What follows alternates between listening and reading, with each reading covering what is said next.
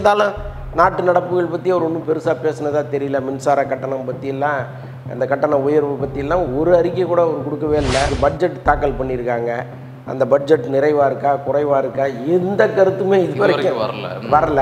அப்ப இன்னும் முழுமையான ஒரு அரசியல் தலைவராக அவர் வரலங்கிறது தெரியுது.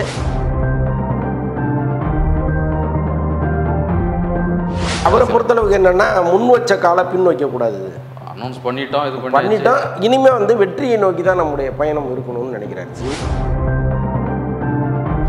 அவர் ரொம்ப நேசித்த ஒருவர் இறந்துட்டாரு. அந்த ஆத்திரம் கவலை எல்லாமே இருக்கும். பட் அதை வந்து அவர் இன்னும் கொஞ்சம் சாஃப்டாக ஹேண்டில் பண்ணியிருக்கலாமோங்கிறது தான் நம்முடைய கருத்து. ஏன்னா நீங்க சாப்பிட்டா ஹேண்டில் பண்ணா சொல்றது இந்த படத்துக்காக சொல்றீங்களா பொதுவா சொல்றீங்களா?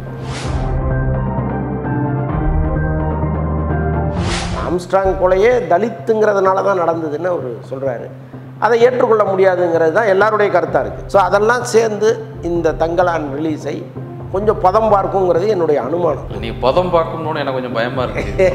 இந்த வீடியோவை உங்களுக்கு வழங்குபவர்கள் Paces Pay secure digital payments with multiple features and great success rate வணக்கம் நேயர்களே இன்றைய சந்திப்பில் நம்மோடு வலைபேச்சு திரு அந்தரன் அவர்கள் அவரை அன்போடு வரவேற்கிறோம். சார் வணக்கம். வணக்கம்.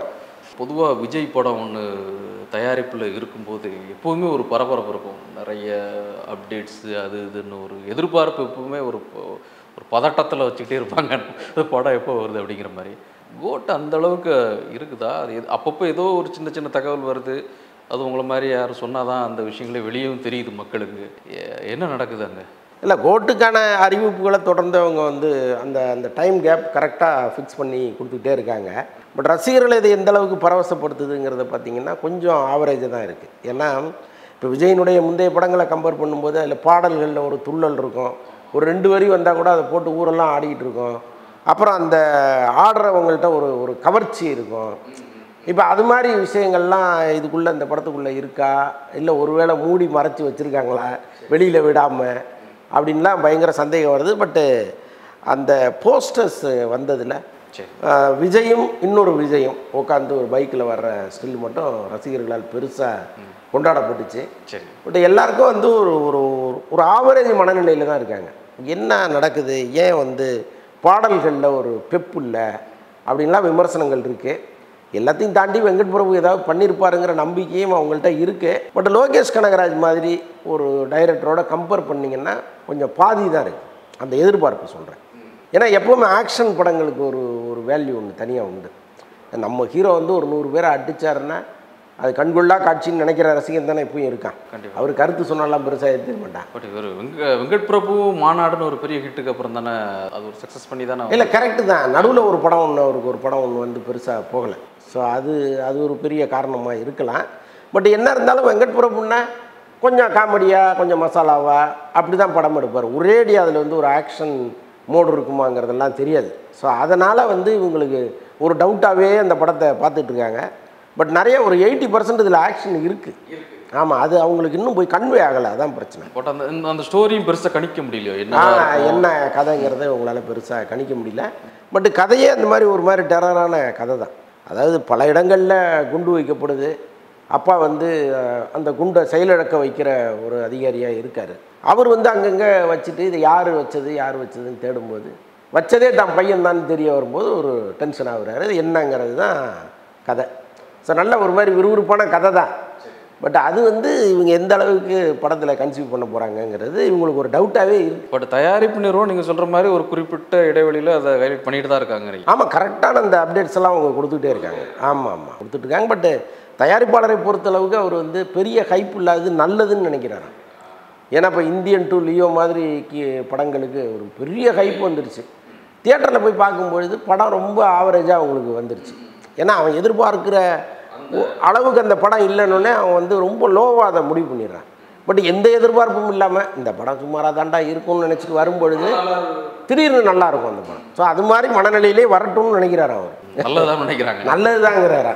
ரைட் இன்னொரு பக்கம் எப்படி சார்? அந்த அரசியல் மூமெண்ட்லாம் அடுத்தடுத்த வேலைகள் போயிட்டு இருக்குதா இல்லை பேலன்ஸ் பண்ணுறா போயிட்டு இருக்காரு இப்போ அரசியலில் கொஞ்சம் பிஸியாக தான் இருக்கார் அவர்.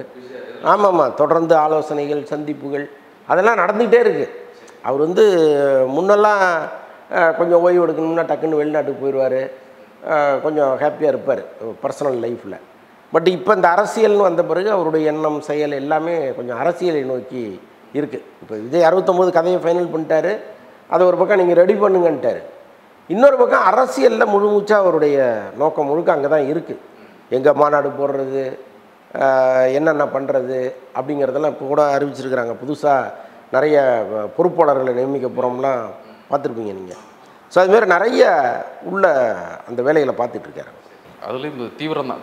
சினிமாவுக்கு இணையா அதை தாண்டியே பண்ணிட்டு இருக்கிறாரு இல்லை அவரை பொறுத்தளவுக்கு என்னென்னா முன் வச்ச காலை பின் வைக்கக்கூடாது. அனௌன்ஸ் பண்ணிட்டோம் இது பண்ணி பண்ணிட்டோம். இனிமே வந்து வெற்றியை நோக்கி தான் நம்முடைய பயணம் இருக்கணும்னு நினைக்கிறாரு. சினிமாவில் எப்படி நம்ம ஜெயிச்சோமோ அதே மாதிரி அரசியல்லையும் ஜெயிச்சிடணும். அதுக்கு என்னென்னலாம் செய்யணுமோ அதெல்லாம் செய்யணும்னு நினச்சி தான் இறங்கியிருக்கிறாரு. அவருடைய ஆலோசனைகள் அது போகிறது வரதெல்லாம் பார்த்தா ஒரு மாதிரி ஒரு முழு அரசியலுக்கு அவர் வந்துட்டாருன்னு வைங்க. அது இன்னும் ரொம்ப ஸ்பீடாக இருக்குங்கிற மாதிரி தான் நமக்கு தோணுது. பட் இருந்தாலும் நாட்டு நடப்புகள் பற்றி அவர் ஒன்றும் பெருசாக பேசுனதா தெரியல. மின்சார கட்டணம் பற்றியெல்லாம் அந்த கட்டண உயர்வு பற்றியெல்லாம் ஒரு அறிக்கை கூட அவர் கொடுக்கவே இல்லை. இந்த பக்கம் பார்த்தீங்கன்னா இன்றைக்கி பட்ஜெட் தாக்கல் பண்ணியிருக்காங்க அந்த பட்ஜெட் நிறைவாக இருக்கா குறைவாக இருக்கா? எந்த கருத்துமே இது வரைக்கும் வரல. வரல. அப்போ இன்னும் முழுமையான ஒரு அரசியல் தலைவராக அவர் வரலைங்கிறது தெரியுது. பட் ஒருவேளை நாம் இன்னும் முழுசாக வரலைங்கிற எண்ணம் அவருக்கே இருக்கா என்னன்னு தெரியல. ஏன்னா ஒரு படம் இன்னும் பெண்டிங்கில் இருக்கு இல்லையா? ஸோ அதை முடிச்சுட்டு ஒருவேளை அதிரடியாக இறங்குறாரா என்னன்னு. ஒரு பக்கம் ரஞ்சித்தினுடைய சமீபத்த பேச்சுகள் அவருடைய அரசியல் பேச்சுகள் பெரிய அளவில் பரபரப்பாக இணையங்களில் பார்க்க முடியுது. அது ஏதாவது டிஸ்டர்ப் ஆகுமா? இல்லை படத்து படம் வேற அது வேற? இல்லை அப்படி எப்பவுமே எடுத்துக்க மாட்டாங்க. நீங்கள் அரசியல் தானே எல்லாமே. அப்போ நீங்கள் எங்களை டேமேஜ் பண்ணால் நாங்கள் உங்களை டேமேஜ் பண்ணுவோங்கிறது தானே ரொம்ப முக்கியமான விஷயமா இருக்கும். நிச்சயமாக இருக்கும்ல. இப்போ அவர் வந்து தமிழக அரசை கடுமையாக விமர்சிக்கிறார். ரெட் ஜெயின் நிறுவனம் வந்து உதயநிதியோடதுங்கிறது எல்லாருக்குமே தெரிஞ்ச விஷயம். அப்போது தங்களான் படம் வரும்பொழுது டிமாண்டி காலனி அவங்க இறக்குறதே இதன் காரணமாக இருக்கலாமோன்னு கூட நம்ம யோசிக்க வேண்டியதாக இருக்குது ஸோ அவர் கொஞ்சம் நம்ம படம் ரிலீஸ் ஆகிற நேரத்தில் கொஞ்சம் கவனமாக பேசணும்னு நினச்சி பேசியிருக்கலாம். பட் அவருக்கு வந்து அந்த பொறுப்பெல்லாம் இருந்த மாதிரி தெரியல. என்ன இருந்தாலும் அவர் ரொம்ப நேசித்த ஒருவர் இறந்துட்டார். அந்த ஆத்திரம் கவலை எல்லாமே இருக்கும்.